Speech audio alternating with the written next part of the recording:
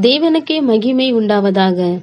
லாமிக்கு நோவாவை பெற்ற பின் ஐநூற்று தொன்னூற்று ஐந்து வருஷம் உயிரோடு இருந்து குமாரரையும் குமாரத்திகளையும் பெற்றான். லாமிக்குடைய நாளெல்லாம் எழுநூற்று எழுபத்தி ஏழு வருஷம் அவன் மறித்தான் நோவா ஐநூறு வயதான போது சேம் காம் யாப்பேத் என்பவர்களை பெற்றான். ஆதியாகமம் புஸ்தகம் ஐந்தாம் அதி அதிகாரம் வசனம் முப்பது முப்பத்தி ஒன்று முப்பத்தி ரெண்டு.